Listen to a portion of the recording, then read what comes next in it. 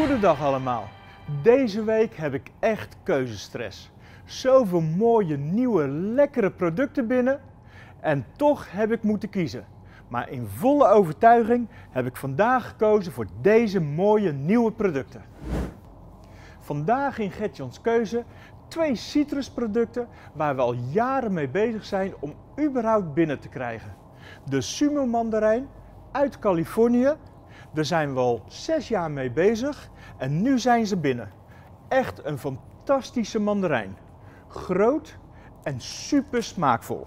Niet gewone mandarijn, maar echt mooie culinaire toepassingen vanwege de volle smaak en het vele sap, maar toch wel een mooie strakke structuur van het vruchtvlees.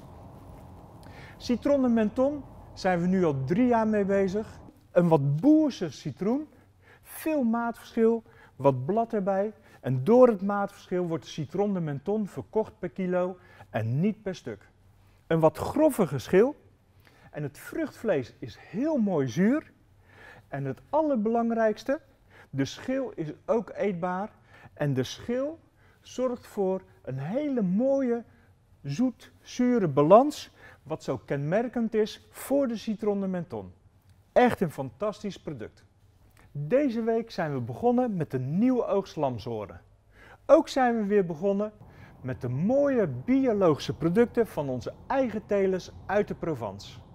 En we beginnen met de slaasoortjes en kruiden, maar de doppetjes en de tuinbonen die gaan er ook aankomen.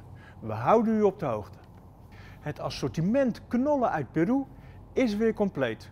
We hebben gelukkig weer de rode Oluco en natuurlijk de Masua. Echt een topper.